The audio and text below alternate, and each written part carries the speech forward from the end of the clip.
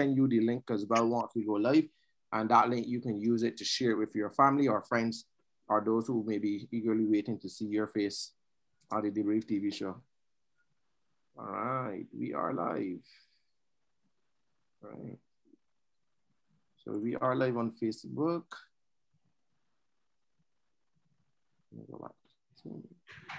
Right, good afternoon. Oh, go ahead. Go ahead. Oh, sorry, good evening, everyone. Uh, welcome to the Debrief uh, TV show. We are live. We're happy to be here again with you for yet another um, to yet another debrief TV show. Um, thank you, thank you each and everyone. Um, as always, we like to take a couple of minutes to just send the link out to those that are waiting to see the show. We ask that for those who are signing on, that you too can please go ahead and share the link with your um, friends and families as we delve into a very important topic today. Uh, we're just going to give we're just going to give persons a chance to log on on the show, but we're asking that you um, please share the show with persons. So just give us um, a split second while we just um, share the links. But if you're coming on, um, I'm seeing people coming on fast and furious. Please share the link as you come on. And as always, we encourage you to please like the show, like the page, share the page so that you know when we go live on uh, the Debrief TV show, which comes to you every single Tuesday uh, here on Facebook live. So I've sent the link. You want to go ahead and share the link. Um, I've sent the link. You can share the link with Saffron and the rest.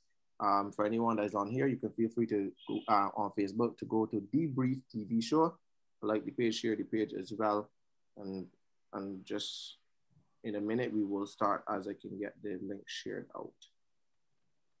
Um,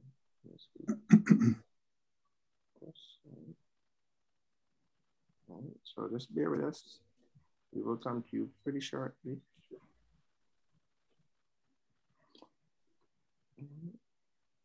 Our friends are oh, with us. Sorry. Oops.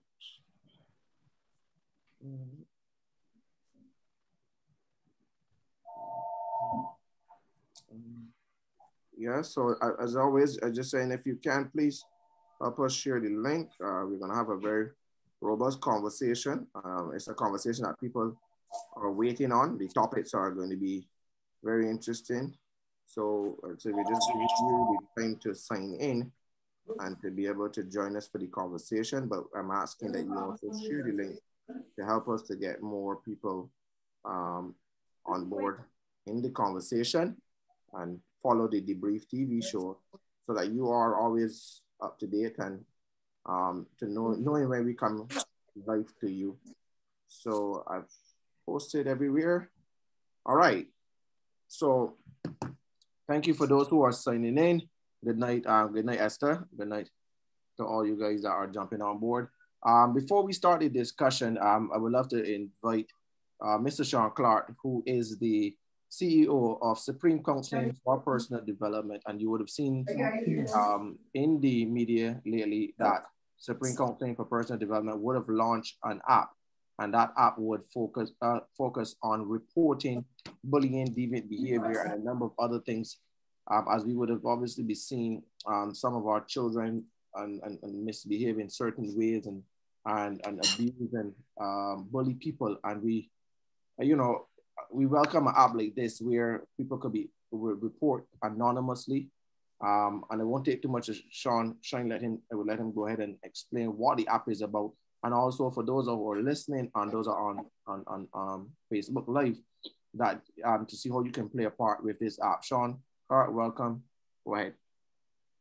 Yeah, thank, thank you so much, uh, Kimmer. Uh, good evening to each and every one of you. Good evening, Barbados. Uh, I want to thank Kimar for giving me um, a little time to very quickly uh, explain the Safe Zone reporting app. Now, I want to start by uh, dismissing a myth that has been put out there because of an unfortunate um, headline by one of our media houses um, where it indicated that the app is one to report bad behavior. And because of that, uh, I think we've started getting some negative stick because of um, what I will call a misleading headline. The Safe Zone reporting app is an anonymous app, yes, and it was launched yesterday, and we are piloting the app in seven, sorry, in eight secondary schools across the island. We know that over the years, when our young people, there are young people who would have been bullied, and because of the fear of retaliation, because of the fear of intimidation, they keep quiet and they suffer in silence. We also know that over the years, uh, we as adults and children as well, we see fights, we see other aggressive behaviors happening across Barbados. We will take our cell phones out, we will, we will record a video or whatever, and we'll place it on, on social media where it can do little to no good. We are seeing now that here is an avenue with an anonymous reporting app that you can, you can still take that video, but then you can upload that video to the respective school and then it can be actioned. So what we are basically doing is off is getting Barbados involved, giving Barbados the opportunity to become the school's watchdog, help the school to with its supervisory systems to bring our children in line. Now, the app is, is not an app only for negative behaviors. Uh, I will read very quickly some of the common behaviors that can be reported. We are looking at assault. We are looking at abuse, whether the abuse is verbally or whether the abuse is physical. We are looking at bullying or regular intimidation, bragging about an upcoming planned um, attack. So you might hear a group of children uh, on the school premises planning to have an attack somewhere in uh, Bridgetown or Speightstown or Oistins after school. These are, this is something that can be reported so that now the school, the management of the school can be proactive and stem that behavior before it actually starts. Additionally, the app can also be used uh, to report depression, any of our children that are, that are suffering with anxiety, uh, gun violence or any other type of violence, harassment, reckless behavior, social isolation or withdrawal, substance abuse. We know a lot of this happen on the school, on, on the school site and off the school site. Suicidal ideations. If you have a friend and, and your friend is, is, is talking of suicide, having suicidal tendencies, these are all things that you can use the app to report. Now, it was also said, Safri, that it sounds as if the app is only to report negative things. And I also want to dismiss that as well. Because the reality is that at the end of the day, you have this app, you download this app as a Barbadian, you have this app on your phone. And you, you pass a particular bus stop every morning, and there is this one child who is always well groomed, who is quiet, who is away from the crowd, you know, who, who is exhibiting the type of behaviors that we as adults and our parents would want our children to exhibit. That can also be reported. And then there can be some positive reinforcement system put in place to award that young man or that young lady for that, that type of behavior. So I'm thinking that the app, and I want to say to Barbadians, that the app is an app, is a progressive app. You can go to, to any of the platforms, whether it be the Google Store or, or the, the uh, Play Store. You can download the app. It is free of cost. And, and you can start making your reports. We have, we launched the app yesterday and we've received two reports so far from one secondary school. And those reports are already being actioned. I, I will say as well, Kimari, before I turn back over to you, just in case you or any of your guests or panelists have any questions. There's also a question about the eight schools participating in the pilot project. In the? In the pilot project. Okay. These schools are Frederick Smith Secondary, Grantley Adams Memorial, the Lester Vaughan School, Graydon Sealy Secondary, Daryll Jordan, Princess Margaret, and Coleridge and Parry. And people are saying, why these schools, these are the schools who are always highlighted and everything that is bad, you know, attached to these schools. These schools were not highlighted. Whenever I sit with Supreme Counseling to put together any initiative for schools, that is exactly what it is, an initiative for school. We don't look at older schools or younger schools or more progressive schools in terms of the, the, the uh, educational level. That is, that is not taken into consideration. Frederick Smith, for example, was selected. I am a very proud product of St. James Secondary School. St. James Secondary School is now the Frederick Smith Secondary School. I'm a proud student, uh, uh, passionate of that school. And when I started Supreme Counseling in 2009, I made a solemn promise to the management of the school that everything that I do, that St. James Secondary School will benefit from, because that is the school that gave me my foundation. So that's the involvement. There are a number of these schools on here, but Grantley Adams, Lester Vaughan, and so on, that we at Supreme Council and we already have a relationship with for almost eight to 10 years. We've been working with these schools. We've been offering interventions to these schools. So I think it is only fair that these schools are the schools to be given the opportunity for us to continue our work with the schools. Finally, Safri, the app is not one for punitive measures. It is not a situation where we want to catch our children in the act of doing something negative and then have them suspended, have them expelled, have them go before the Board of Management. If the act was one of punitive measures, then I would have given the Royal Barbados Police Force permission to receive the reports as they come to hand. The app is one where we are hoping to offer a level of psychological intervention for the children that, that will need it where we can put children in groups to help them raise their self-esteem, teach them conflict resolution, teach them about anger management. That is the purpose of the app. And that is why the Safe Zone Reporting app was introduced to Barbados yesterday. Thank you, Sean. I appreciate it. Thank you. Um, any questions quickly from the panel? Uh, I just want to commend him for coming up with that app, something that we need and where we need to commend folks, we ought to.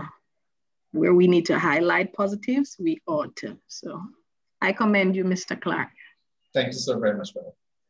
Okay, thank you, Sean. Thank you for that um, um, enlightening um, and correcting the media as it relates to your app. Uh, we will continue to promote it here on the Debrief TV show. Uh, thank, thank you, you for having me, and I will sit and enjoy um, your show from afar. Thank you, guys. Thank you. Good evening to you.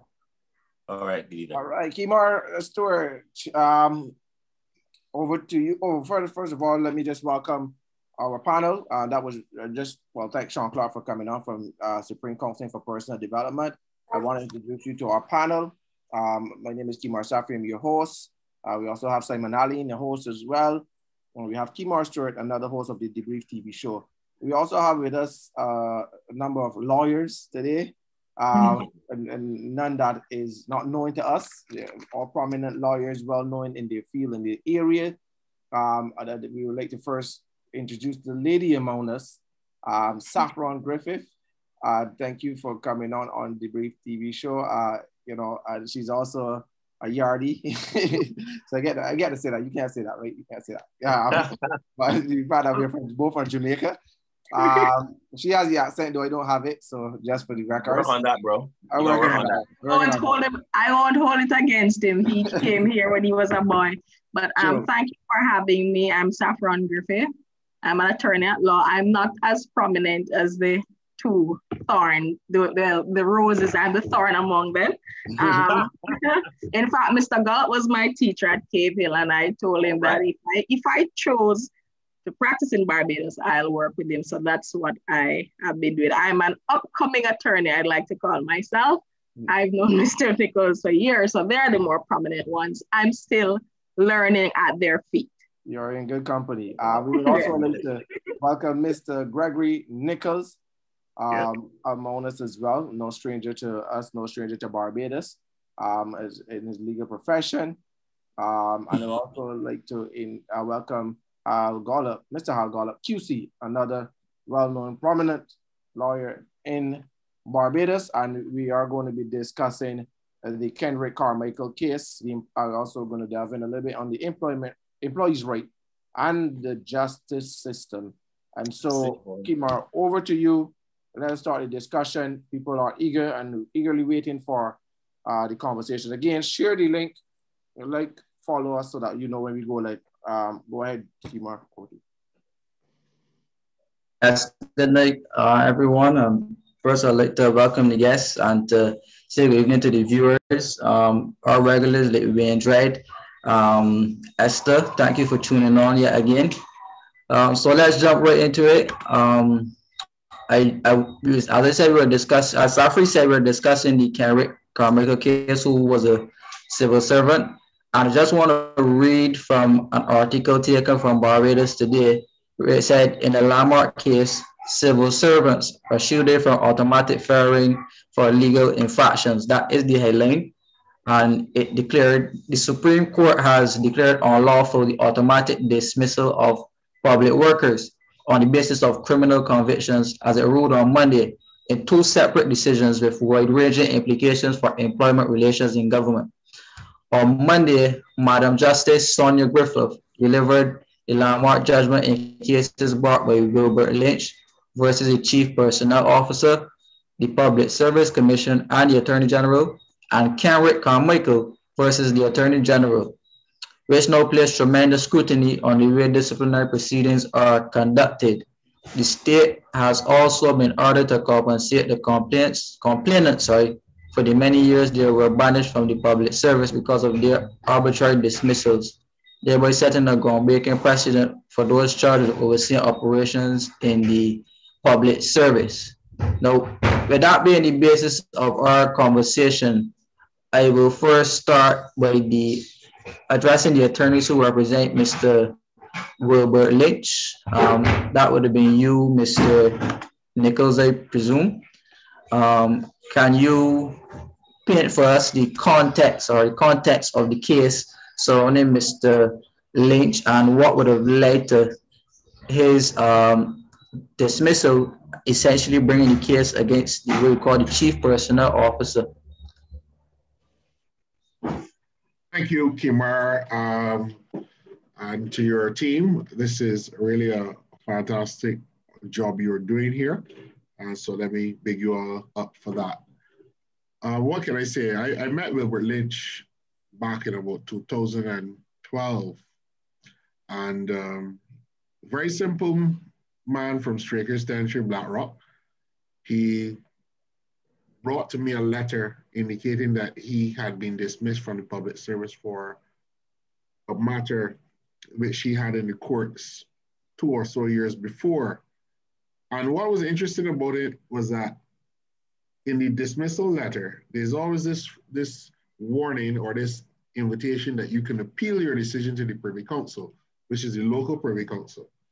And he wrote a handwritten letter to the Privy Council setting out reasons why they should not follow this Public Service Commission's advice that he should be dismissed. In his own handwriting, um, he said, oh, in a very clever um, argument, you know, he was the sole breadwinner in his house.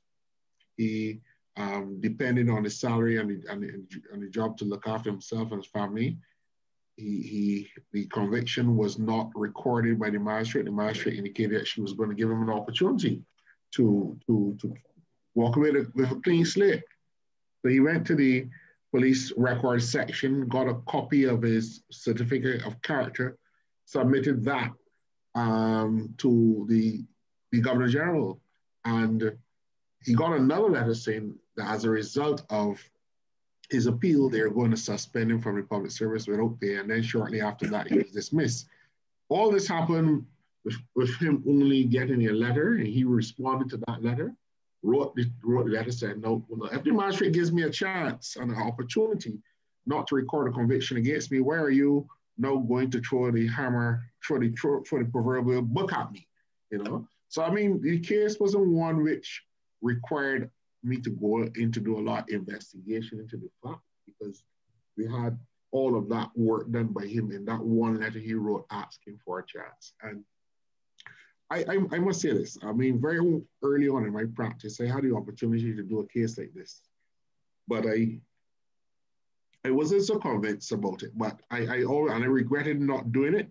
So I always said that whenever I get an opportunity to do this case, case on, on this very point, how is it that the, the, the, the Privy Council, which is there to advise the Governor General whether to dismiss public officers or not, how is it meeting and the persons who they are considering the case, they don't have an opportunity to say anything to that, that committee, who's basically advising the government whether they should be fired. People will lose their pension. You work in the government service for a long time and then you end up on the streets destitute. And you can't make any representation for on, on, on your own behalf or no one can do it for you. And I've always had a fundamental problem with that. It, it hurt me the wrong way.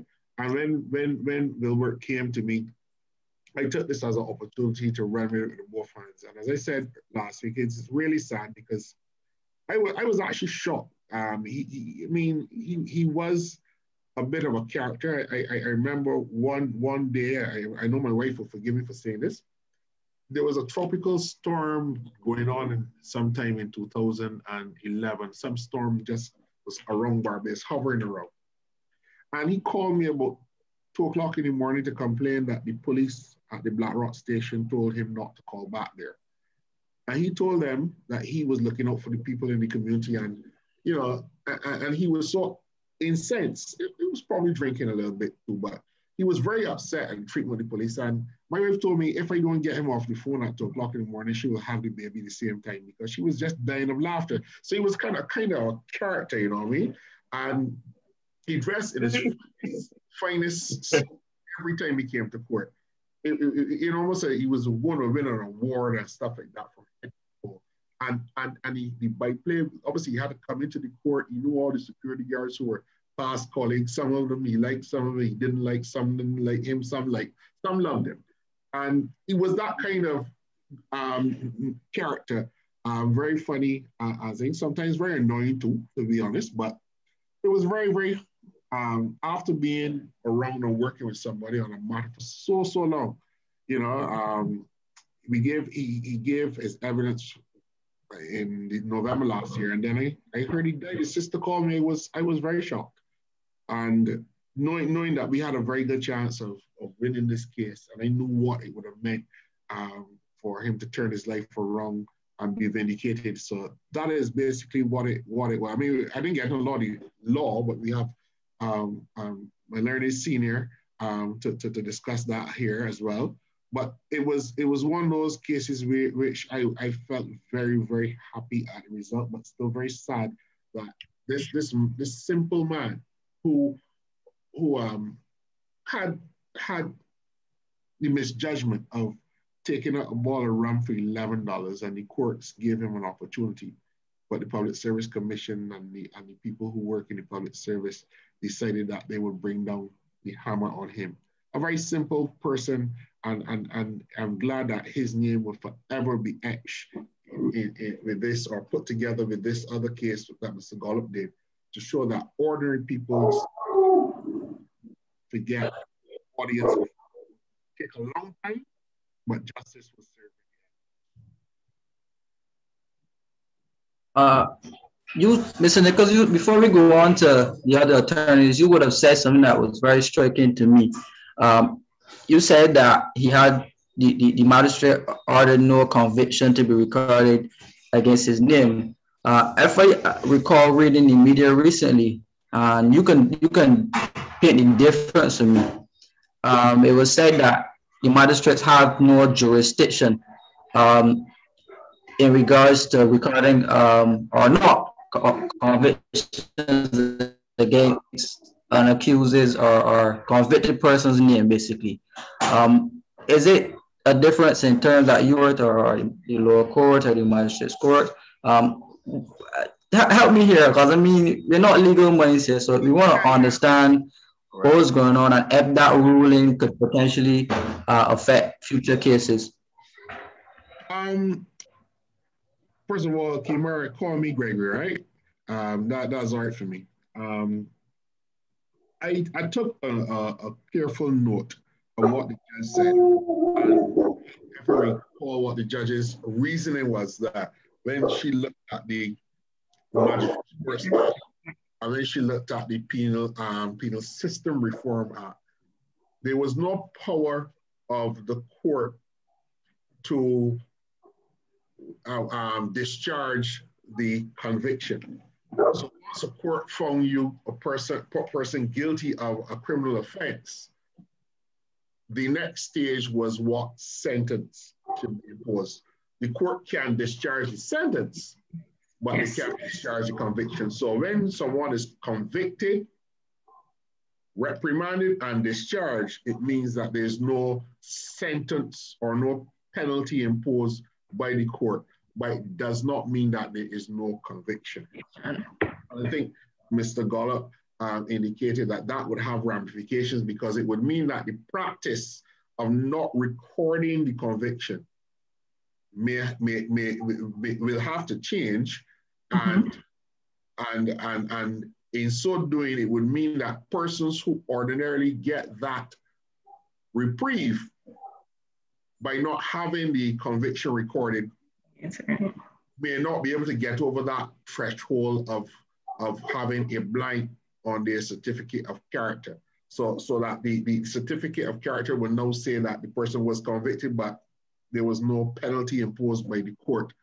I suppose now they will have to explain to the prospective employer, the US embassy or whatever they're relying on that certificate for, but it is a major change, and I think is something perhaps government would might, might want to determine how how best it would try to deal with the fallout that would happen there.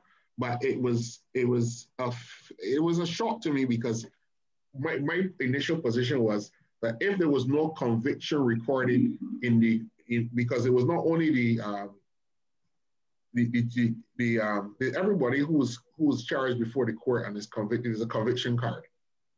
So his conviction card was what had had had something on it, but those things that were on his conviction card related to things that happened after he was fired from the public service.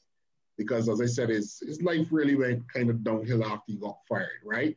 And had some issues similar to Mr. Carmichael, domestic issues at home and stuff, and those things are on his conviction card. But you know, he his his the, the order book is an order book in the magistrate court where the magistrate sets out or the, the, the, clerk will set out what is the, the, the finding of the court, what took place and what transpired in the matter. None of that recorded a conviction. Also, then there was the um, police certificate of character. So my position was that if there is nothing showing that this man is being convicted, on what basis could the Public Service Commission advise the Governor General that he had been convicted?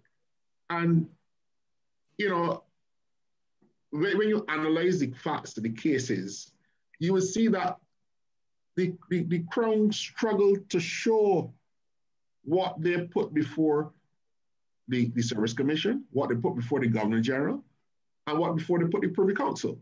They, they put, put no evidence at all before the court to show we wrote this letter and these were our findings, these were our recommendations, and these are the reasons why you should be nothing of the sort. In fact, they treated it as if he was a humbug.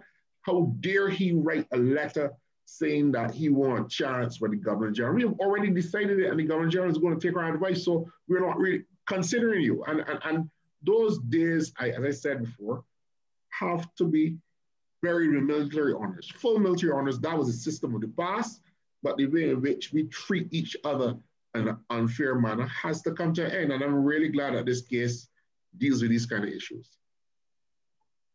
Well, uh, thank you very much for sharing that perspective, uh, Mr. Gollop or um, Saffron. You want to add, contribute or add anything to Mr. Nicholls' point, and then you can take the floor as it relates to your case with Mr. Carmichael. I would I would let Saffron uh, introduce the Carmichael case.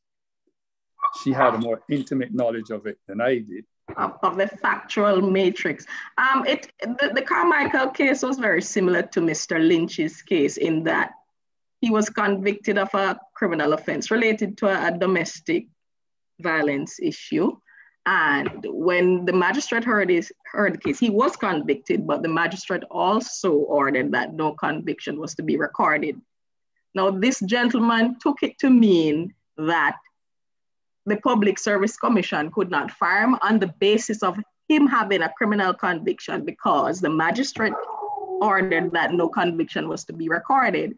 Similarly, when he when disciplinary proceedings were instituted against him, he was afforded the opportunity to appeal to the local privy council, and they decided in his absence to compulsory retire him from the, the, the, the, civil service. So the, the facts are very similar to Mr. Lynch's case.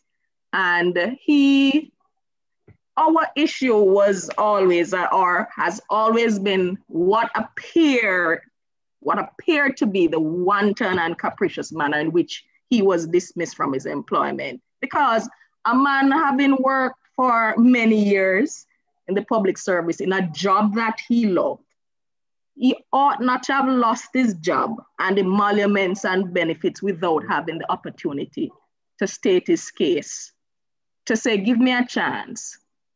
Let me tell you my side of the story. Mm-hmm. That in itself just smacks in the face of good administration. And it wouldn't, his, his issues or his case does not only the outcome are we uh, go, taking the matter to court would not just augur well for him. He won it, yes, but for generally good administration. It would apply to anybody else in the public sector. That you can't just fire me wantonly or what appears to be wantonly or arbitrarily. There's a process and we must follow that process. Mm-hmm. Uh, Mr. Gollop, you uh, yes. wanted to... Yes, I could. I could um, make an intervention here.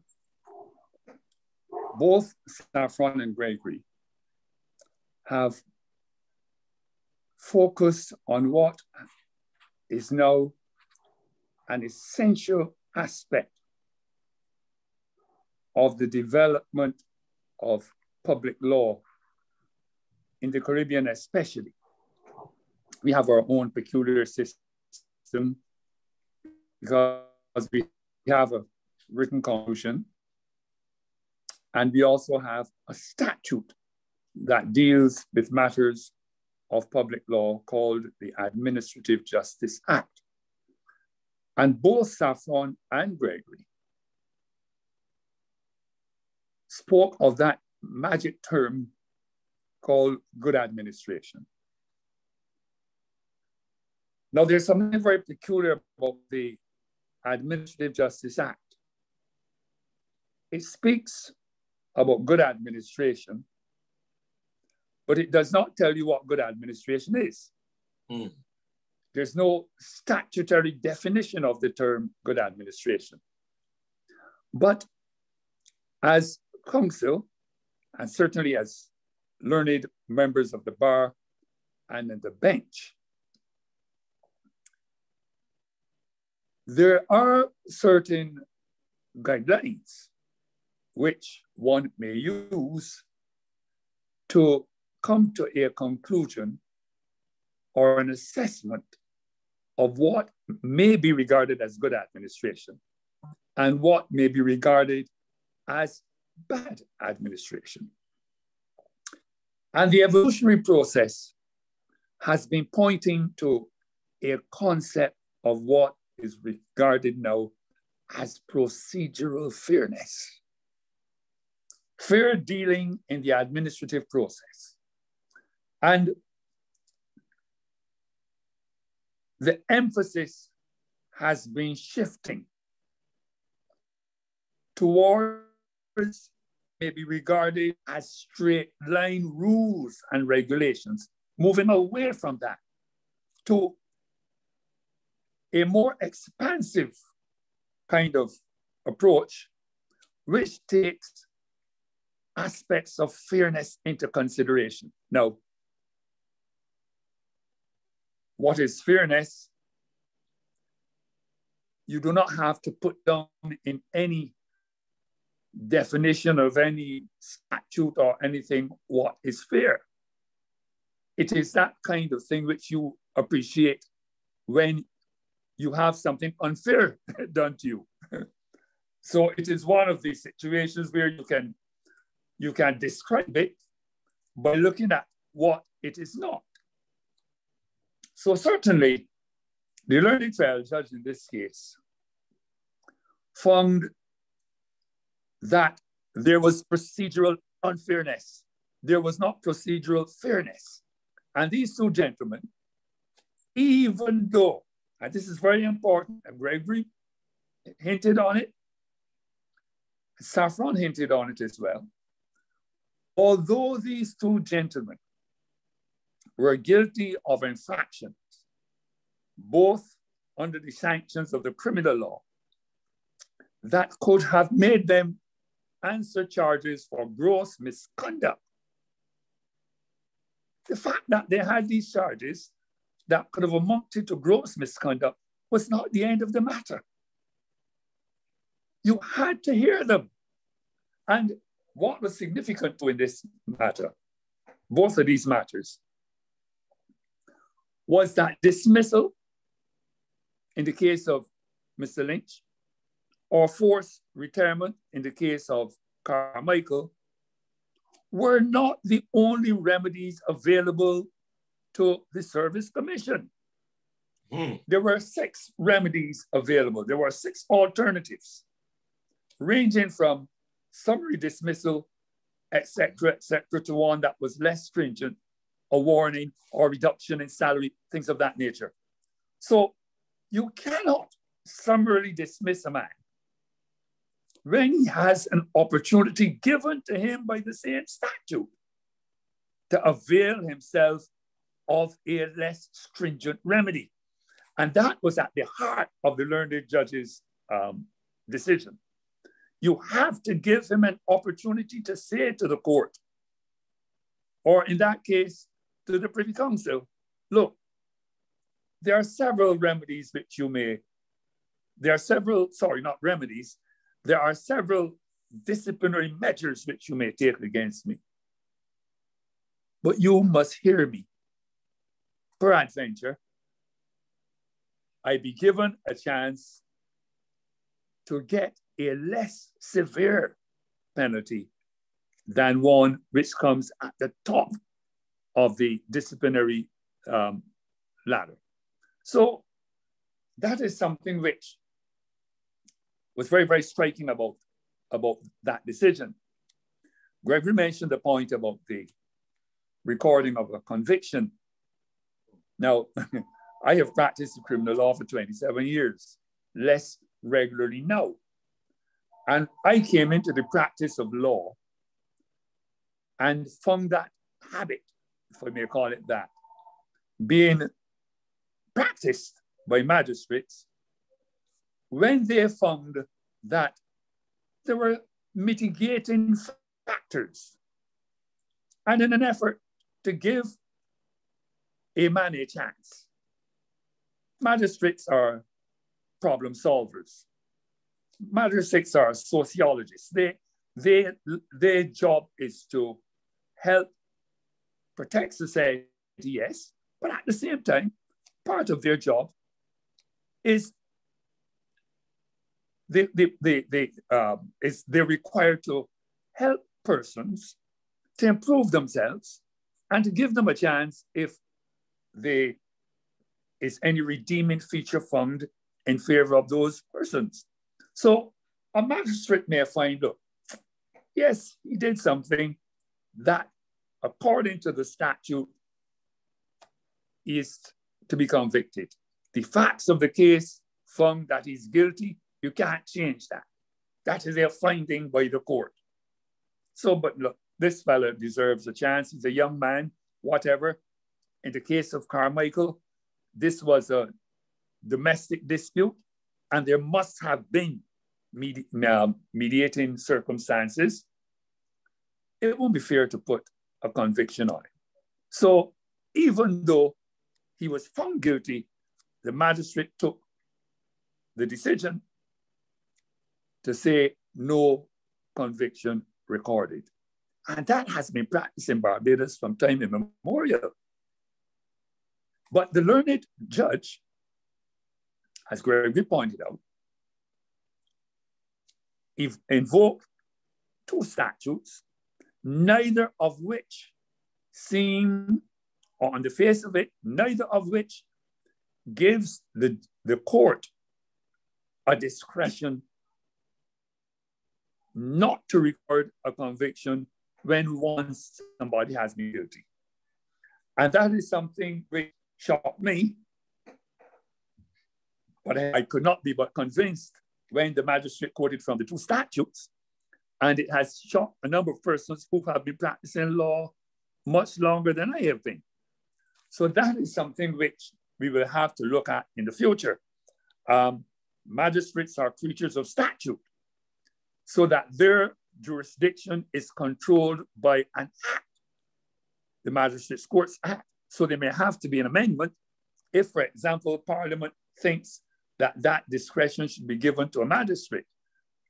Because unless there were an appeal and that was overturned, that finding, that ruling of the trial judge, then that is the law that magistrates can no longer fail to record a conviction when once a person has been found guilty um, in accordance with the trial, uh, coming out of the trial which they had just gone through. So at that point, at this point, I would just like to say that there is a new thrust in public law, which has moved away, moved away from just simply a reliance on doing what a statute says you must do. We refer to it in our legal language as ultra vires. You act ultra vires, it means you have exceeded the limits of your statutory power. If you have done that, you may be said to be ultra vires. You have got to be intra vires. You have got to act within the four corners of the statute. And in administrative law, the ultra vires doctrine has operated to keep public functionaries within due bounds. If you move outside those bounds, well, then you can be hammered with certain remedies. But in its, the, the, the, the jurisprudence has taken us away from that strict application of ultra vires to what they have described as a swiftly moving emphasis towards procedural fairness. You have got to be fair. And any reasonable man, the man on the Clapham omnibus in England, or the Bayfield ZR, or the Warrens minibus, all of those are ordinary, reasonable people who could know, who would be able to say, if faced with a particular situation, that is fair or that is unfair. And fairness is the order of the day, procedural fairness. You have got to follow the procedure set out, and you must do so fairly. I should like to stop at this point. Right. If I if I may right. add though, uh, fellas, add, uh, anything? Oh, no, let's have one finish and then we. If, if I may add, as Madam Justice Shona Griffith stated, and I must echo Gregory's earlier sentiments in a most erudite judgment. The court is not concerned with the correctness of the decision on the part of any public authority, but the process by which that decision was arrived at. Okay. So we, the process is always the underpinning factor. Um, I have two questions here on the the Facebook. Um, and then um, I think this one, the second one, but you could take the first one, but I think the second one we kind of switch things up a bit. Um, John Herbert is saying, is the government going to appeal these decisions? So if anybody could take that question first, is the government going to appeal the decisions? Not that I'm aware of. I don't know if Mr. Nicholls, if Gregory is aware of that. I haven't I haven't had any conversation with anyone, but I, I read an article attributed to the Attorney General, Learning Attorney General, saying that the uh, lawyers for government did not advise him that there were any grounds of appeal, but that they were awaiting the written decision, as we all are. Yes. So that that is probably subject to change. So we one never knows, you know. Okay. Yeah. The other question um, coming from Wayne Hoy is attorneys, as brilliant as some think they are, hardly challenge or speak out about the system as it is. Hence, there have been no major changes to the to the to the many issues. That is that's a, that's a very that's a very vague comment. Vague comment. The mere fact that you have three counsel here who have just um, challenged mm-hmm. challenged a fundamental procedure that has been used throughout the jurisprudence of, of this country and challenge it successfully, that question doesn't seem to. it certainly that, doesn't. That, that, that, that, that, that, that's not so. In fact, I, I, I happen to know that a very, very significant decision will come out next week on the bail amendments that were imposed, I think, in 2019 in, in, in response to some of the upsurging gun violence and so forth, mm-hmm. where the, the right to bail has been further restricted. If you were charged with a firearm offense, you're not entitled to bail for the first two years after having been charged. And that, that I think a decision on that amendment is going to come out sometime next week.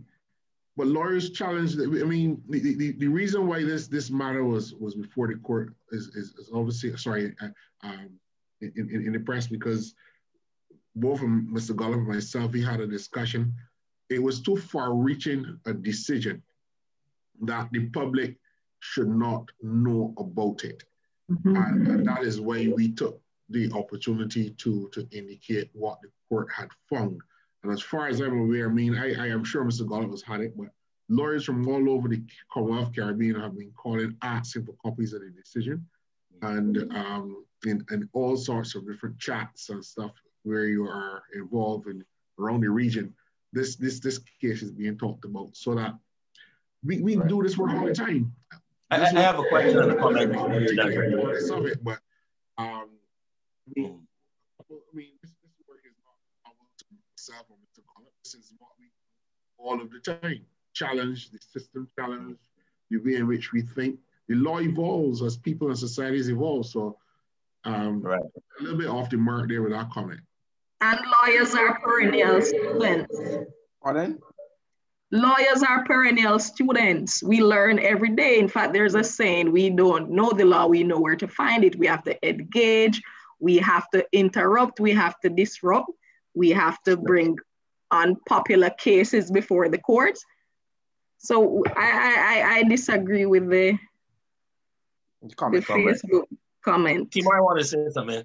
Go ahead, Simon. Mm-hmm. Right. Um, first of all, I just want to thank um, our special guest this evening. Um, the first thing is a comment. I am thinking that when there are a lot of popular cases or certain issues that are raised and that capture the public eye, I am thinking that there may be uh, a platform for the Bar Association to even using their own social media platform or doing a public discussion. Like because of COVID now, you really can't do like public lectures as such. But I'm thinking that the Bar Association and so on can engage the public a bit more by letting them know the developments, letting them know what are some of the hot button things that would have happened in law that would concern them. Uh, as Gregory and Saffron spoke about the ordinary person, um, the ordinary man or woman might want to know um, how various laws might affect their employment or, or so on. Uh, my question though is regarding the, the, the, Public Service Commission and why it appears to a lot of um, civil servants and others that the process is so slow. And I think, um, Gregory, you lamented about that in the, um, the Barbados Today article. Is there anything that can be done to help to grease the wheels or to move along the process when it is an issue uh, um, regarding public officers? He's muted. Well, it's the same, it's the same administrative. Is Gregory responding? Yeah, go ahead, Mr. Gollop. Sorry, I was yeah. on mute. Sorry. Thanks, Sorry. Mr. Sorry. Yeah, um, it's all, it all has to do with the administrative process. Mm -hmm. um, in Barbados, we have the Office of Ombudsman. Mm. And the Ombudsman is almost essentially given a jurisdiction which seems to, or which tries to correct bad administration. All right. And bad administration usually encompasses heavily issues of delay. That's one of the key factors um, in the portfolio of the ombudsman. But sometimes people do not even remember we have a, a, a person called an ombudsman. That is a fact. And, um, and that is not peculiar to Barbados. That is not peculiar to Barbados. In Britain, there are several, several um, ombudsmen. They're called the commissioner of so and so for so and so. So they have several of them in their process of um, administration. But the problem which you are which you have focused on has to do with faulty administration mm. and what one may consider as essentials to good administration. That is what this administ- part of what this Administrative Justice Act is about. If you look at the long title, the short title, sorry, it describes, it is described as an act to improve administrative justice. And um, that being the focus of the statute, maybe we need a few more people practicing public law, so that uh, you will get more more applications being brought before the court. All right. Challenge this bad administration and challenge what may be perceived as faulty administrative justice. And um, but administrative law is still a very young subject. It only dates its origin as far back as the Second World War. It is one of the newer legal disciplines. Um, it came into being really in an effort, the efforts re were required to rebuild London after the bombing. So mm. it is still a very, very young subject. And we have been in Barbados in the forefront when we implemented this Administrative Justice Act in 1982.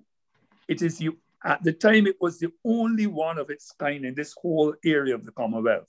Trinidad now has a, a, a one as well. St. Lucia has a kind of it. Um, but we have been, we've been doing our bit, we've been doing our bit to improve administrative justice. And that Administrative Justice Act is a major piece of legislation that can go towards that improvement, which I'm speaking about. Thank you, Mr. Gollop. Sure. You wanted to report, respond, Gregory? I wanted. Which, which was the question again, Kimar? Sorry, what was the question again? No, right. Um, what I was asking with regards, and I think Mr. Gollop answered it with regards to the delays um, in the Public Service Commission oh, coming to the Service Commission. And also, yeah, I mentioned yeah. about the this is a, a opportunity for the Bar Association to, you know, talk about some hot button topics that affect um, Barbadians that would generate interest and so on.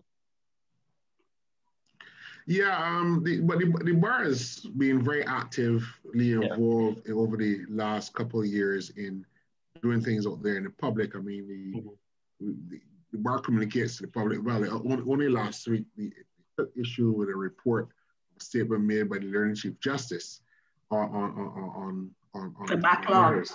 Um, right. You know, That's right. The Public Service Commission, however, um, you know, what, what I do a lot of cases that that brings into focus the way how they treat other public officers and so forth. Mm-hmm.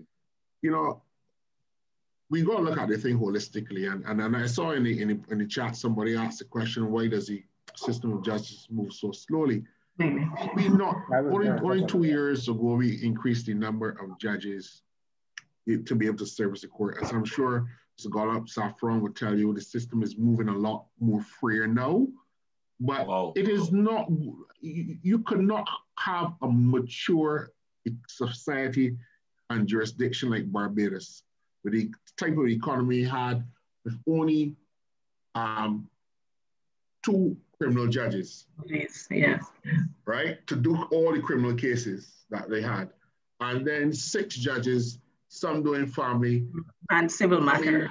Your, our system had become frozen in time. And this is not a political point altogether because you have to have the resources to put behind the administration of judges, justice. You gotta, you gotta pay the judges, you gotta pay the support staff, and, and, and, so, so we, we had to come to that point where we had to increase the bench. And but some lawyers will tell you, and, and I perhaps that, that the bench is not large enough, you know, as, as, as yet, but it has to be paid for. So that, you know, you know, we, we have this concept of overdevelopment. When I say overdevelopment, in order to survive in this 21st century world, and perhaps even in the 20th, 20th century, the, the, the, systems that small independent countries had to develop really outstrip their economic resources to pay for the systems True. to maintain the societies as independent countries. So that True. at the same time, you're conscious of the fact that while the, the because if you look at the cases, the British government the American government, these, these mature democracies do not get these things right either. So that is why this branch of administrative law. So that sometimes we need to step back from the criticism of saying that this, this, the government is this, the government is that, or when I say the government, you know, you know what I mean, or, or the systems are poor. But even in societies where the systems are mature, where there's plentiful resources that are there, you know, you still have these cases where there's arbitrary actions on the part of public authorities doing these things, and you will always have these things. So that you, you take a more systemic um, uh, um, look at, at, at the, the, the, whole structure, and you realize that look, the, the, the, the, the post-independent state is, is very sophisticated in its structure and its apparatus do we have the capacity to maintain it? And not only to maintain the systems that have to work, but also to keep refining those systems and, and, and taking them to the, the cutting edge of the new things that would drive the society and propel it forward. So that, you know, as a lawyer would say that we don't have enough judges, but at the, at the same time, someone will say we don't have enough teachers. We don't have enough garbage trucks. We don't have enough people dealing with issues of, of, of um, ground service, water. How many people have we trained in those areas? You know what I mean? So that we will always have the challenges that a mature and, and a, a, a, modern and a progressive society would have, but we, at the same time, we still have a limited resource pool. So that is a, a challenge that you have to trade off against. Go ahead, Saffron. Let, let me give Jackie her jacket because we can we can cry about the deficiencies in the system, but with, with Mr. Carmichael's case in particular, um, we were before the courts. We initiated that judicial review suit in 2017. And a new judge came on the scene last year, and I went before, we went before her in July. And she said, but we have a man who was fired. We were before the court, and his matter is languish in the court. We can't have this. Not this kind of matter. That was July. The same on that same date, she gave orders to fulfill so that we could go to trial September, which was what August, September, two months, two months. later. Yeah. So you have people who are passionate, you have people who are willing to do the work, you have people who are willing to push the system as far as it can take them. So I just wanted to commend her okay. because we can we can cry and we can bemoan what we don't have, but we still have persons and we still have organs and we still have. Mm-hmm. All right, I, I, I Simon, Simon, if I could add to this comment, just, just before you all leave on, I just I know Kimar trying to get in. Um, but on that flip side of the deficiency within the, the system, one one of the comments here is saying that well, people uh, could read it as it is. Lawyers benefit financially from the inadequacy of the judicial administration. So the person is trying to say that, well, the, the system has inefficiencies. At the same time, um, lawyers benefit from it. Um, whether it be, you know, whether they adjourn it or whatever. What an, abs- what an absurd comment. So, an absurd. I, I, I, know you well, right? I'm just reading right? comments, sorry. So just bear with yeah, me. Yeah, and, and how, how can you make a living off a system that's inefficient? what an absurd comment. I wouldn't I wouldn't be able to live if I can't the, get The only people heard. who make a living off of an inefficient system are people who are corrupt. Thank you. And I would not accept that as a as, as a as a badge of, of the profession, the distinguished profession which we serve. That's an absurdity. Right? All right. But if you look at it, if you look at it logically, a man came to us, lost his job for five years, but he has no money to pay us. So bottom line, that's as simple as I can make it. You've lost your income. You're, you're, you're, you're sick with worry. You're despondent. How does that benefit a lawyer? How does he pay you? Who will pay to get his, his matter started? The ink, the paper, the stamp duty. Who, who, who would pay that? So how do we benefit? I thank you. That was a response. That's as basic as I can as I can I can make it. Yeah. Does make sense. To make a comment. My, my question is really twofold. Um, that's going back to the case. You, you had a situation where a public servant was sent home and you, you had to seek recourse uh, from, I consider you guys to be private counsel.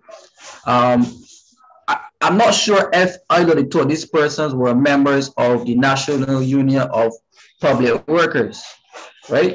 Uh, so my question really is, uh, what recourse um, what the, the, the persons had within the National Union of Public Workers without coming towards private counsel um, first.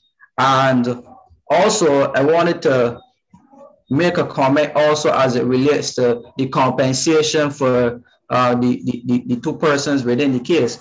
Because uh, I know that the, the in 2020, the Caribbean Court of Justice uh, made a ruling as it relates to the Employment Rights Act, um, which, which to the loss of wages, and it ruled in favor of, uh, I think at the time it was Shafet Limited, as it relates to awarding we will call loss of wages over amount of periods of time, right? Uh, so I wanted your guys' opinion on that, and if you view if you view the situation with the loss of wages as it relates to paying out that um, money according to the court decision or in the context of the court decision. Uh, how do you view those those outlooks? Um, can I deal with the, the last question? The Employment Rights Act doesn't affect public officers, right? The Employment Rights Act deals with the employment private sector so that the Shafet decision will not have any bearing at all on, on these cases whatsoever. Um, we can come back to that a little later. I'll tell you this. Um, prison officers are not allowed by law to be members of a trade union.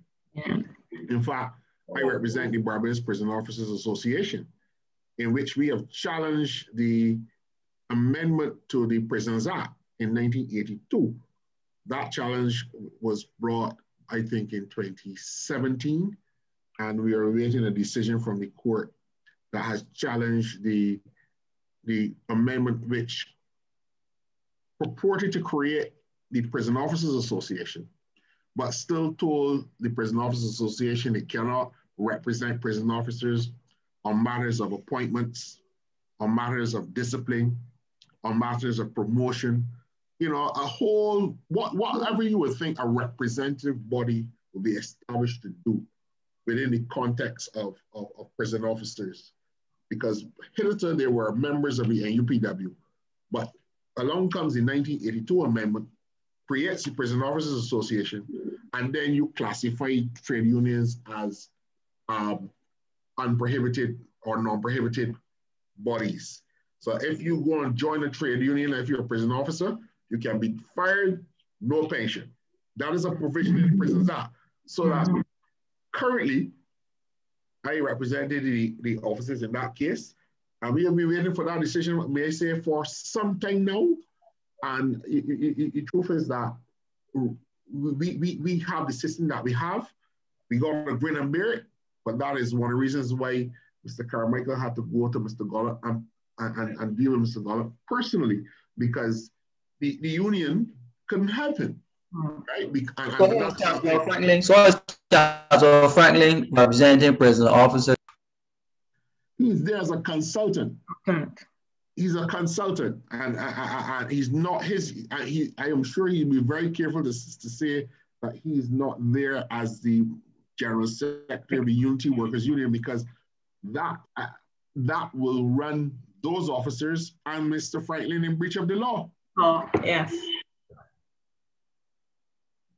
I have I have a question about um, the, the whole issue, and I think a I have a you can answer probably Mr. Gollop.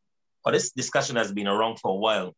Um, the the whole issue of if Barbados needs a night court, and if the addition of a night court would make um, the whole judicial process a lot more faster, and a lot of matters that um, are minor, as I say, are trivial, could be dealt with with the night court. Um, what are your views on that? You're going to get night lawyers. Night lawyers, night guards, night everything. night everything.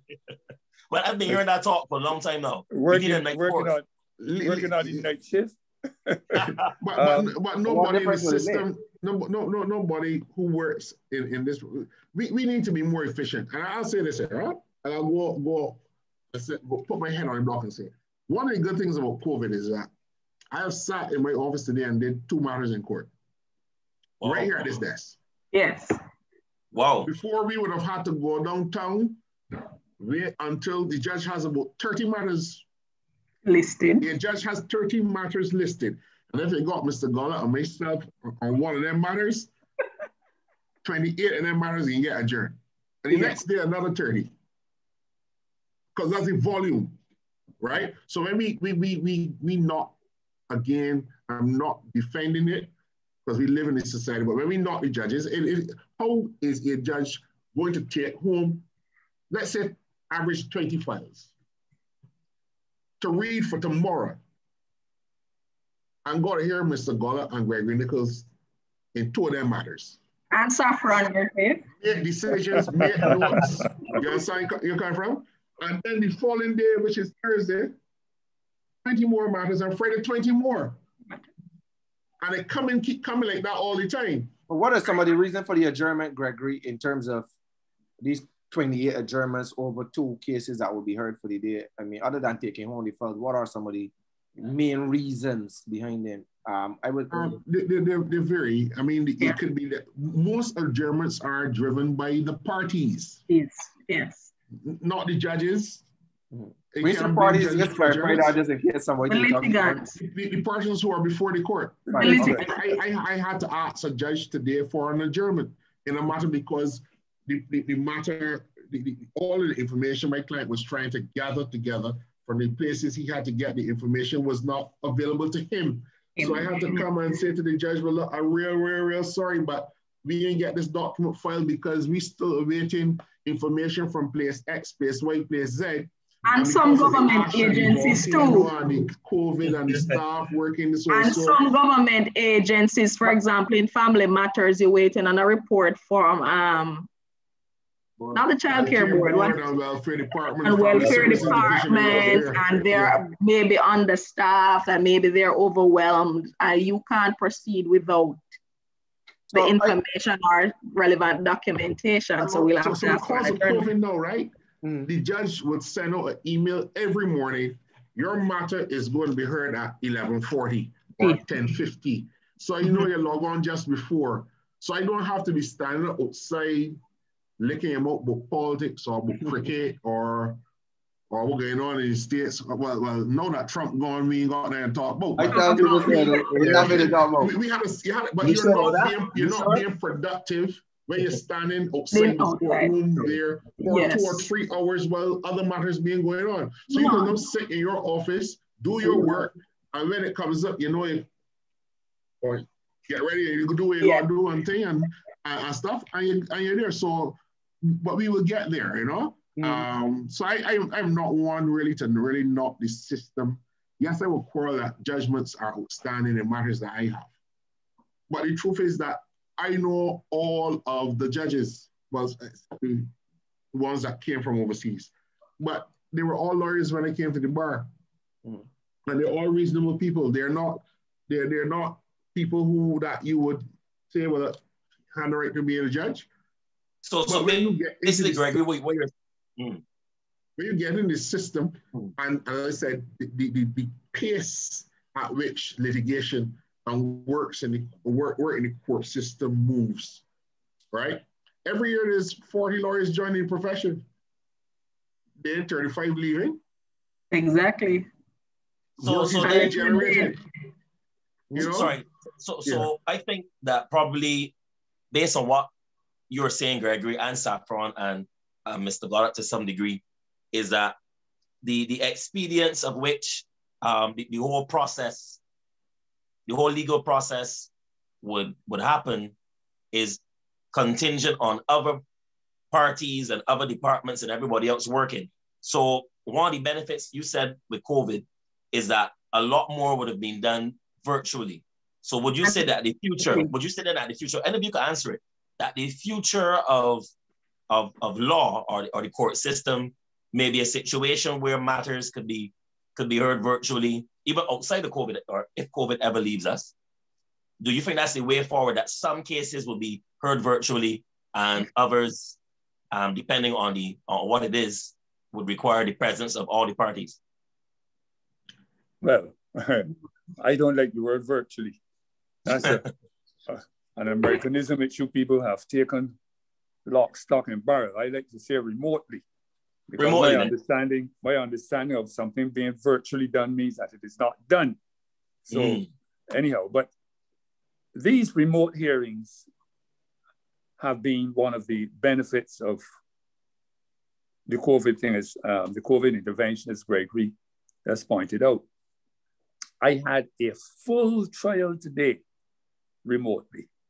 Wow. So that so that some matters all those procedural matters um, which you can, which you have to go to court for ordinarily, may be done by a remote hearing, because there are orders being made, directions being given, etc., etc., etc. There are some trials which would not suit a remote hearing because you want to have the witnesses present, present, sorry, and you want to see their demeanor and all of that and all of that. But mm. certainly, like the one which I had today, where submissions, there were written submissions made to the court, presented to the court and to the other side, and you came and you argued your submissions, you presented your submissions. That kind of trial could easily be accommodated in this kind of hearing. So, COVID has been a mixed blessing in this regard. Because what it does too, as Gregory pointed out, you can sit at your desk with your computer or your telephone or whatever instrument you're using to communicate by, and you're doing things, doing things until you get your signal that you are ready. Mm-hmm. So that is an intervention, and I'm absolutely confident that that is going to continue even if COVID leaves us.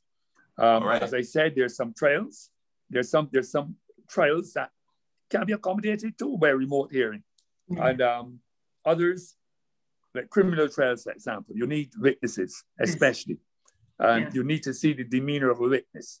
So a cross examination taking place without um, people being present to see how this fellow has been reacting and to test a jury test whether he's telling the truth or mm. whether his demeanor reflects something that is not that cannot be easily done by um, a remote hearing. And some civil matters similarly as well. Some civil matters require witnesses being examined and cross-examined and you put through the same process of testing their demeanor to see if, you know, this fellow might be lying. He looks, his body language is not consistent with truthfulness and that kind of thing. But we have to learn, we have to take all these uh, setbacks and turn them into benefits if that can be done. And I think the setback, which we all faced when the courts were shut down, when COVID came almost like a, a thief in the night, literally speaking, uh, figuratively speaking, I should say. Um, the setback we had has now been somewhat cushioned by the availability of this kind of facility. Zoom, Microsoft, all these various platforms. And I am learning about them, Saffron, uh, so it's all right. Again, so, um, if I may add, I'm, if I may I'm, I'm far add, better than I was. I'm far better than I was. If I may add, And, um, personally for me, personally for me, I prefer to do family hearings via um, Zoom or Microsoft, that up there. Um, I find that it tempers the acrimony between parties. We don't feel that energy bouncing off the walls when we sit in chambers, Wow. in a judge's chambers physically. And I find that we're a little bit more civil via Zoom hearings, in family hearings. With um, tempers, we, the, the tempers the acrimony and, and, and hostility between the parties. And for me, lawyers behave a little bit more civilly. So I prefer it in certain hearings, certainly family family matters. Take note of that. Uh, I want to jump in here to ask a question. This, this is going to completely change the trajectory of the conversation. Uh, but Mr. Nicholls, I, I took interest in a particular case that you would have represented um, because I, uh, as everybody know, I am a lover of financial issues, economics, and the like. And um, there was a situation where the last governor of the central bank was fired by the Minister of Finance, and you would have represented the case. Um, couple of years after, there were some changes as it relates to the legislation uh, surrounding um, the governor of the central bank and the ability or inability to hire or to fire. Uh, so I wanted some context to the situation because it, it was quite messy and there's still some gray areas as it relates to um, the, the, the case. So if you could, you know, just fill in the blank somewhere and get us to understand what really happened, uh, that would be excellent. um, what I can say, Kimar, is that this that case is still very much in the system. Oh, oh sorry, sorry, didn't mean to. Um, yeah, but but what what what came to the public for uh, um, was we we my clients sought an injunction to stop the Minister of Finance from firing him. And I'm glad you raised it because I am actually doing a, a, a publication on central bank finance um, independence and the autonomy of central banks, um, how, how that autonomy is threatened, and by, by those type, types of actions. And I, I just want to get a chance to set the background here because a lot of what went on in the application for the injunction, we got the injunction, the injunction was then discharged, we appealed that decision, we got another injunction to stop the dismissal pending the appeal, and then the Court of Appeal made a decision that if the minister was wrong firing him, then at trial, he would get damages, so we're not going to stop the minister. Um, I think it was a regrettable decision of our Court of Appeal because it, it set the tone for this point, and I hope I don't alarm people when I say this. In a public law case, where a citizen challenges the actions of the, of the government in all of its emanations, whether it's a minister, a government department, government agency, whatever, statutory board. If that government authority is alleged to be acting unlawfully, and the applicant in the matter says to the court, look, I want you to stop this unlawful act from taking place before it takes place, or if it is has started, I want you to stop it. the effect of that discharge of the injunction by the Barbados Court of Appeal is that the court will say, well, look, if the person is going to get some remedy at the end of the day, I will not stop the unlawful action. And that is the effect of that decision. A lot of people haven't really understood it, right? And I want to say this. The Central Bank Act is the only piece of legislation that I am aware of that requires where there is a clash between the technical expertise of the government agency or government department and the executive, which is the minister, the government, etc. Government ministers can override technocrats in the civil service and across the spectrum of government every day. It happens all the time. This is the policy of the government. But in the Central Bank Act, because of the importance of the institution of the central bank, where we are dealing with the monetary supply and the monetary autonomy of the central bank, and that is importance in the economy, when there is a difference of policy between the minister and the central bank governor, the central bank sets out a process how that is to be dealt with.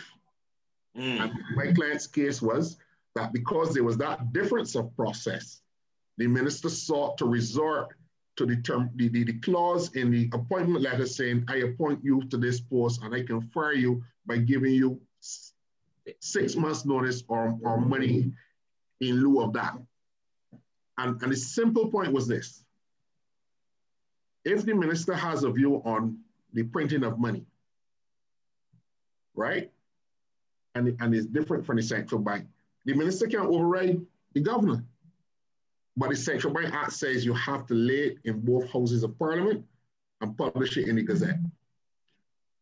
The minister wants to override that policy decision of the central bank, if he wants the Minister of Agriculture wants to override the Chief Agricultural Officer, he sends a, a, a, order that this is the decision of the cabinet and it will be overridden. But only in this piece of legislation, Parliament says when the Minister of Finance wants to direct the policy of the central bank, there's a process. Mm. And all the argument was you can't go around those provisions in the act. Mm-hmm. You fire the man so that you get what you want. Uh, so my question, my broader question to the panel then. What is your take on contracts for civil servants at such high levels? Uh, I know there's a public conversation right now. That's so right. give all that you would review. Contracts for you or no contracts for you? I don't think it's a simple question of, of, of whether it's a contract or not.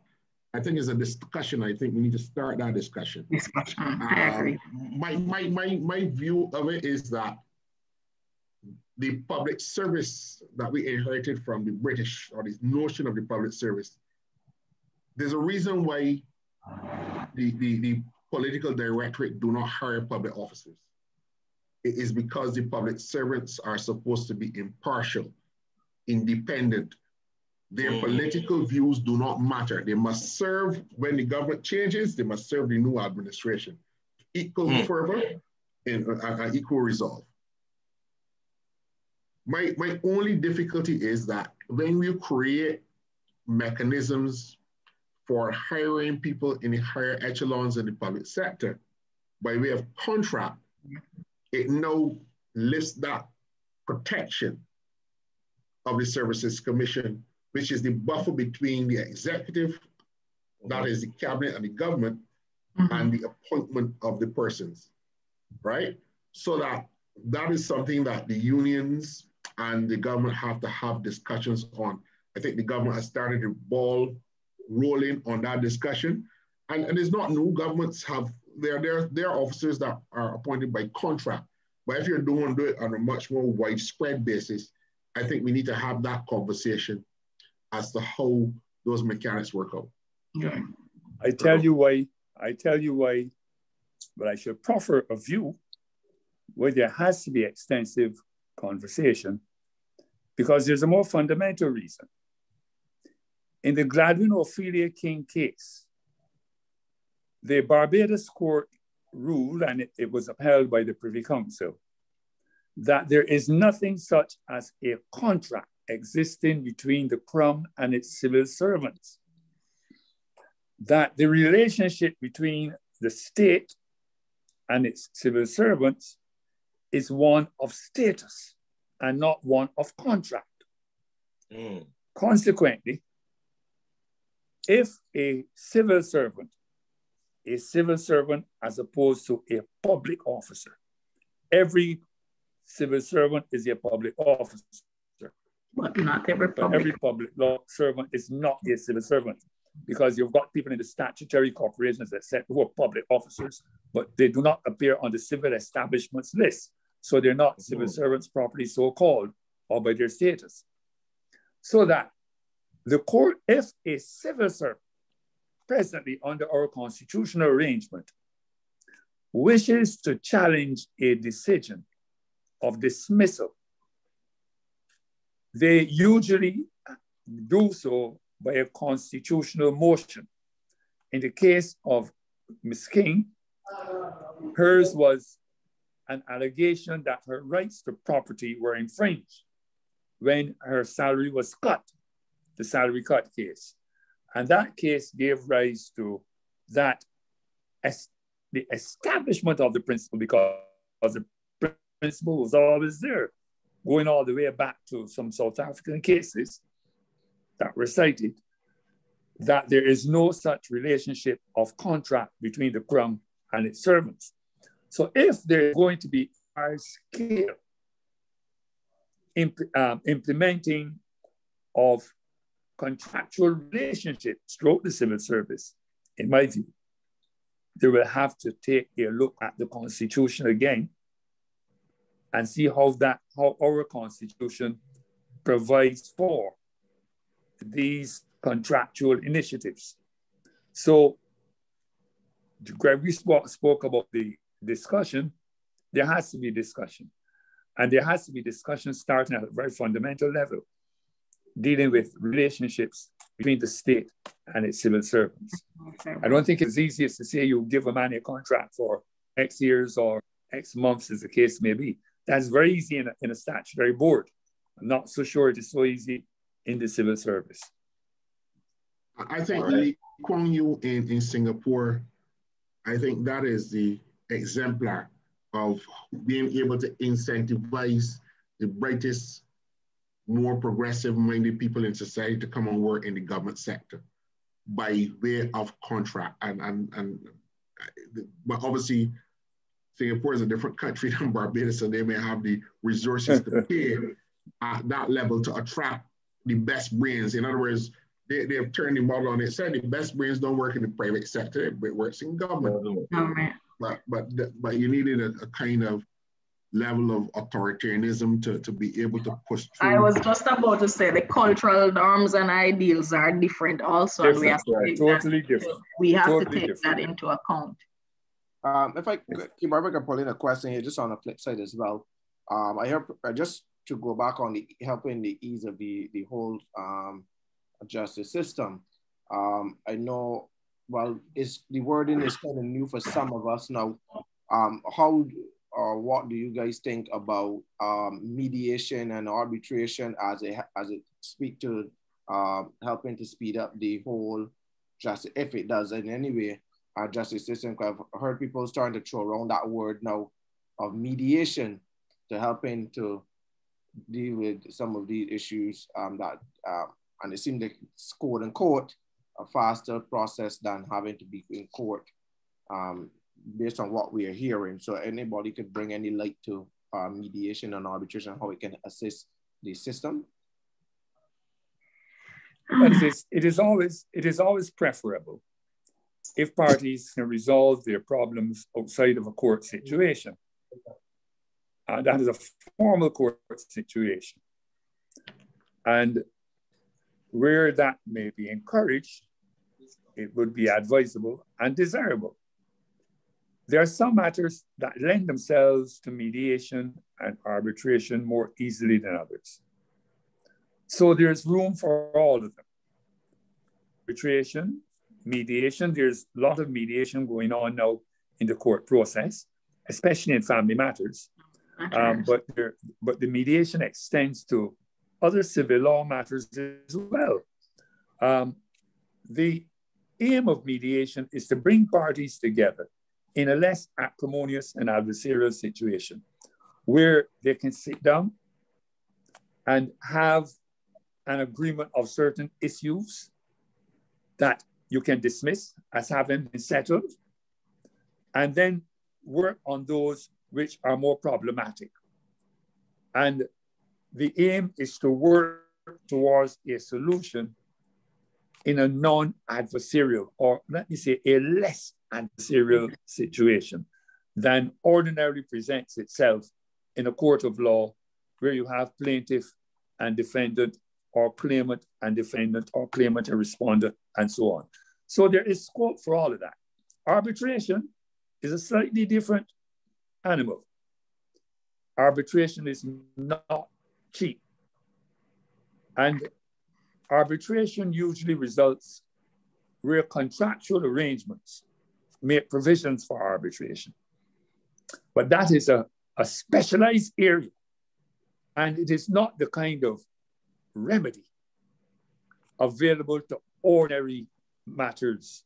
Um, arbitration is really more um, often used in matters where there is a very um, what what um, there huge is a commercial matters, huge commercial, very commercial, high commercial yeah. matters, matters where lots of money is involved, building contracts, um, contracts for some, often contracts of that kind of nature, like building contracts and um, contracts for provisions of some services, etc., etc., etc.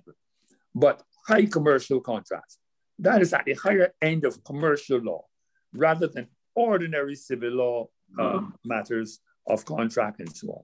But there is scope for all of them within the justice system at varying levels. Anyone else want to take, uh, that's it on that? Okay. Saffron, you want to? Sorry. No, I'm, I'm, I'm fine. you have any question before we get to wind up? Yeah, I got um one a question. Um, I think it was Gregory or Mr. Gollop, I can't recall who made the point about uh, statutory boards. Uh, right now, they're in a situation where the NIS is about to go to statutory board.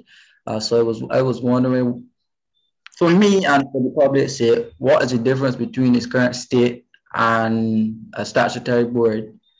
And my second question um, would be, uh, as it relates to a pension, public service pension. Um, I, I know under the IMF program, we are due for pension reform. So we're just a little concerned if there will be change of terms of change the terms of uh, um, the current pension arrangements for civil servants.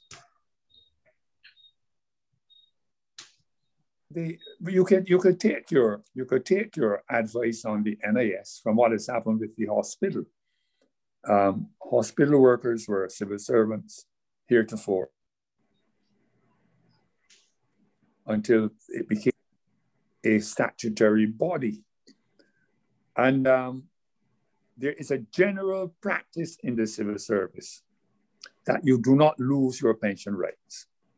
Um, if you move from the mainstream civil service to a board, there is a mm. continuation of your pension rights. You don't lose that. And as a matter of fact, the trade unions will be very, very active to make sure that it, that they advise their members along those lines. And they would certainly not advise their members to, to sanction a transfer of status if those situations are not clarified and made certain. But um, it is a matter of decentralization, if you want to call it that. And that is a modern concept of administrative law. There's devolution of, of um, authority and there has been a movement to take the administrative process away from the central civil service kind of structure in an effort to gain greater efficiency.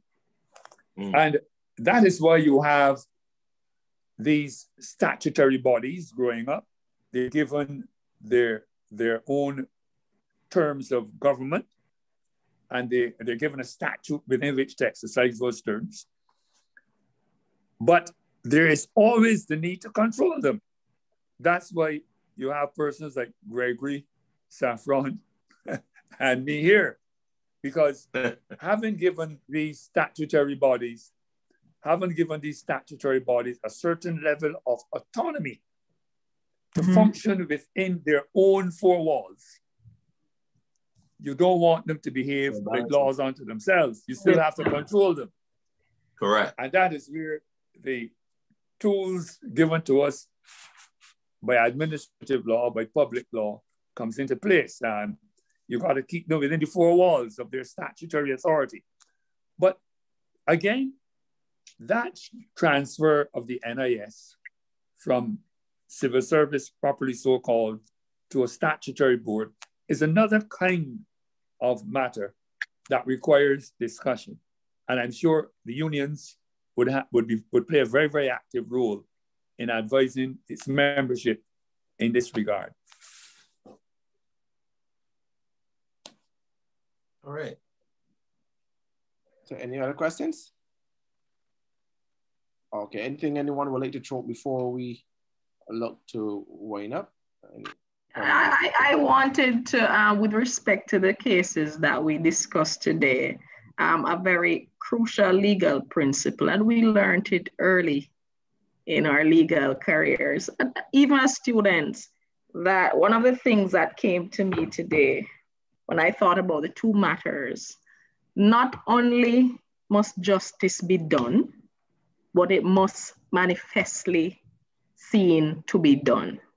Mm. So once again, I emphasize that when public functionaries are carrying out their duties, you must abide by process, procedural fairness, transparency, so that it augurs well and upholds the principle of good administration.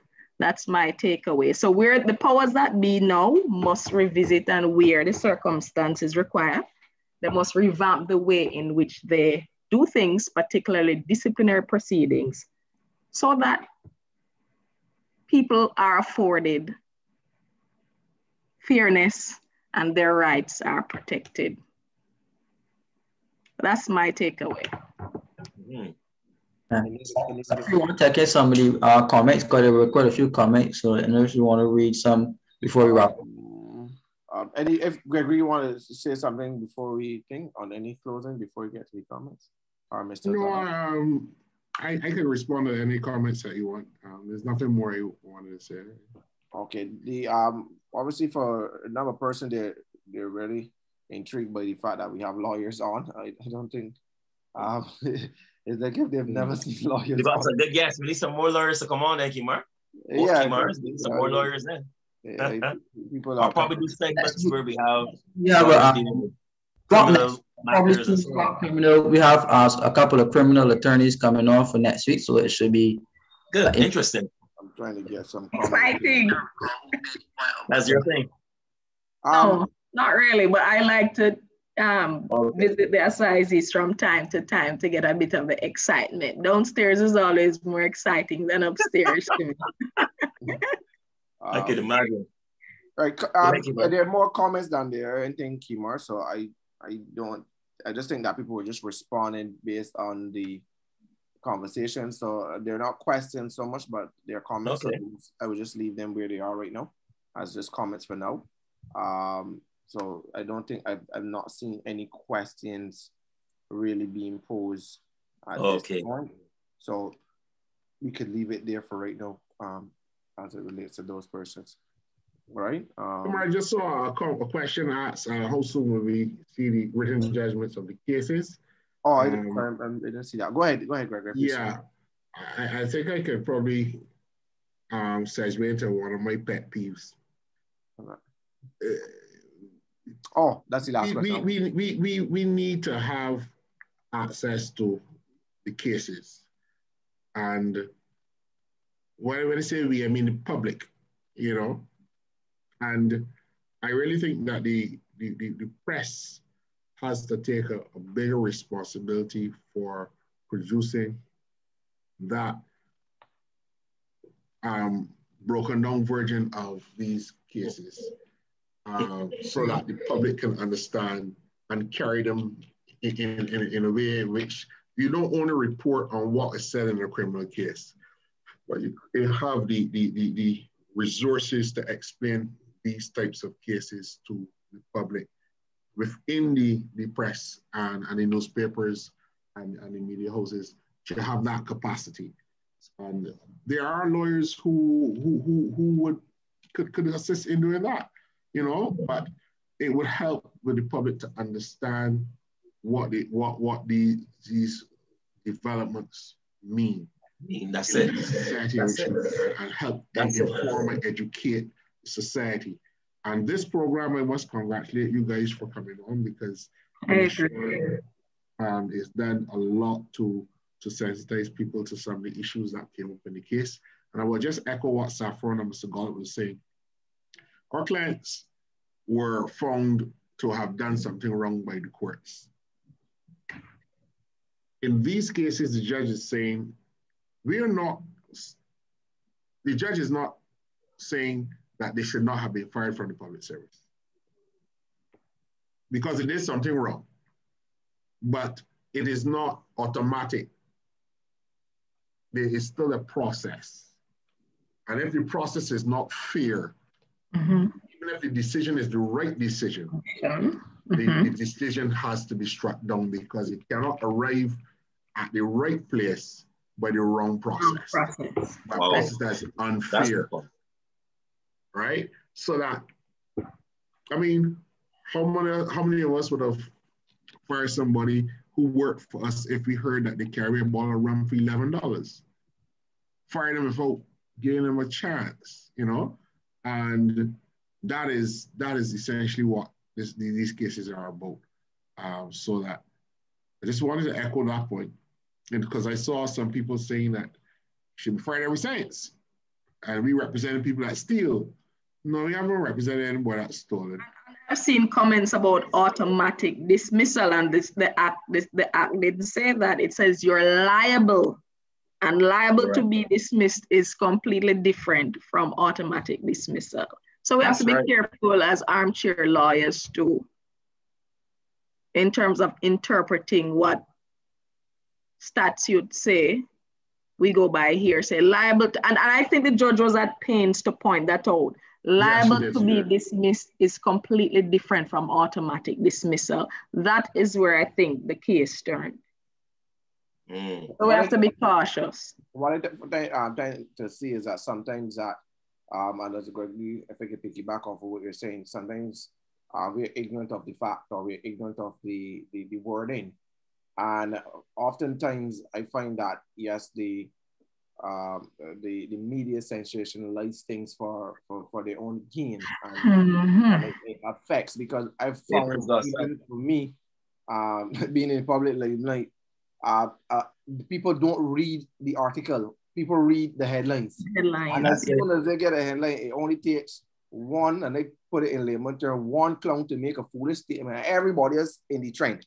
And they up to know half the people in the trend haven't taken the step to read, to understand. Uh, but I would like to see more, uh, definitely uh, uh um, from almost every sector that has a public has the, the public interest um, break down certain things like these so people can understand. I, I see in, um, right. if I was correct, in Guyana, whenever there's a cabinet meeting, uh, whenever a cabinet meeting is finished, uh, somebody comes out and explain about a contract, who it was awarded to, what, the sum of what, and this is a decision by cabinet, whatever the case may be, and it give people the chance to comment, ask questions, and to know more and to understand a little bit more, so that when they do comment, it is not an ignorance that we're not only dependent on the media to, to fill us with information, but there's an avenue where we can go. And I would love to see this also, as you said, within the legal profession, that when cases are called, whether it be by bar or other places, um, whether bar or someone um, set up some um, committee to do it, they explain cases and don't only leave it to the media to give you snippets um, uh, and then leave you to make your own conclusion, like if you the judge itself of the person. And so I would love to see that as well going forward. Um, any final uh, remarks or comments? I, I, would also like um, ordinary persons on, on, on the Warren or the ordinary person in the Bridgetown fish market to also understand that when, when there are allegations against a person and you suddenly become an accused, you are still entitled to a fair hearing. You, you're, you're, you're entitled, no matter how egregious your conduct. And I want people to always be mindful of that because we often get up and say, well, he a thief, he should this. Mm. And your son commit an infraction and you come to a lawyer, you're bawling and you will take out the last out of your life savings. Mm-hmm. And until it reaches your doorstep. So just be mindful that every accused is guaranteed by the Constitution the right to a fair hearing. We have to hear first before we make pronouncements. So just be mindful of that. Right. And it can be. And it can be. I mean, mm-hmm. I really wish that I were true, but there's Barbados, there's the Caribbean, and you're gonna do something, but just gonna hear that you do, and you're guilty. I know that for fact. I myself, I myself have my bad experience, and I could tell you that, you know, it, it so it's, it's culture. It's unfortunate either way because people suffer reputational damage for such. But that's where we encourage responsible journalism and to start writing stories that slant it in a way that you are forever tarnished and then persons can get work and then they end back up in the criminal justice system because somebody said, I want you in my place because you was in the paper for rape or you bring a thousand pound of drugs across the border. So I mean, that time you found not guilty or the case gone, but still you could off. I want to also commend my seniors at the bar. I learned a lot today. That in the in the time periods when I was silent, I was listening because, as I said, we're always students of the law, and what I am not or fair with or what I don't know, I listen and I also commend them for their knowledge and imparting their knowledge as well. So thank you, Mr. Gollop and Gregory. It was a learning experience for me today as well. um, I hear you keep, guys keep referring to a word. I just wanted to just bring clarity for it for the uh, mm-hmm. viewers. You keep using the word learned, uh, like a learned lawyer. Learned?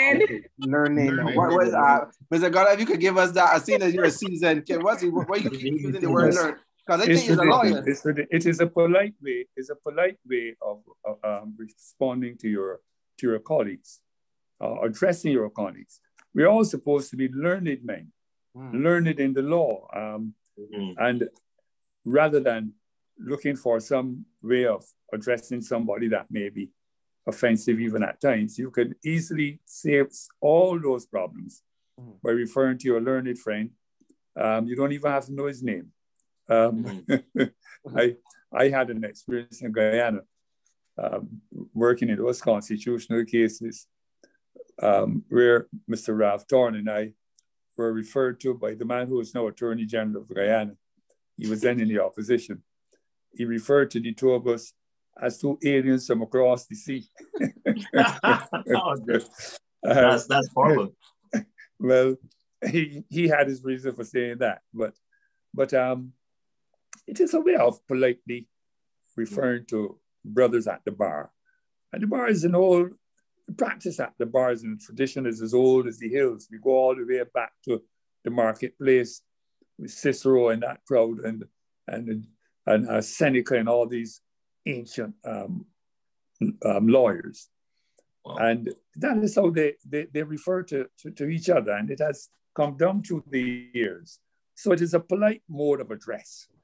And um, the bar is still one of the most ancient of the professions. And those of us who like ceremony and ritual um, try to hold on to some, some of the better aspects of it. I think it is a good for the society. I think we should maintain those things which identify us and which regulate our conduct. And that is one of them as far as lawyers. It lends to the nobility of the profession. Fair enough. Well, um, all right. Um, gentlemen, thank you very much. Uh, people, uh, persons are commenting both on the you know WhatsApp phone and also in the comment, uh, especially Corey Lane and Paul, uh, Corey, sorry, Corey Worrell, my bad, and Paul Gibson. They were really excited with the show. Some other persons were also yes. thought it was a good show, and it was a refreshing, um, you know, drink to have. Uh, lawyers here that could explain, and they said that you guys, especially, uh, were very articulate in breaking down stuff. So we oh, really yes. appreciate it. We really appreciate you taking the time out Thank to you. debrief Barbados um, about um, about a number the cases and also about a number of different issues. And I want to just thank you, um, Facebook. We also want to thank you for all those who have been um, with us. Um, we ask that you continue to follow the show, like us, follow us. Um, you have attorneys here if you ever need their services, please feel free to reach out to them. we can't advertise. Pardon? We can advertise. Y'all can't, but we can. Sorry, um, I, I, I suspect that you have to, to have a second limb to this show. Yeah. Be law only because I, I can see a True. number of big decisions coming out of our courts mm. over in the course of the next couple of months. Have you guys um, back, huh? That you you are not going to get to discuss Kimar, the other Kimar's other economic issues and stuff like that there at all. Because um, I, I, know some big decisions coming down on, on, a lot of matters. A lot of work is going on in the courts, and you know we in, we in an environment where um, people tend to focus a lot on on legal matters. Mm-hmm. So, well, we look forward. We look forward to it. Um, Corey Corey Worrell is saying this is the best debrief show to date. Thank you, Corey. Really? well, well, we don't. That's a bit far fetched, but that's all right. but it's probably Corey's out of that one. Go on Facebook. We want to thank you. Thank you for coming live um, with us. Uh, again, follow us, like us, share us, so that we you can know when we do come live. Um, we're going to start the video. See you again next week Tuesday. We have a very interesting panel and a very um, a, a, serious topic at hand to discuss next week. So we want to say stay tuned to then. Facebook, you have a good night.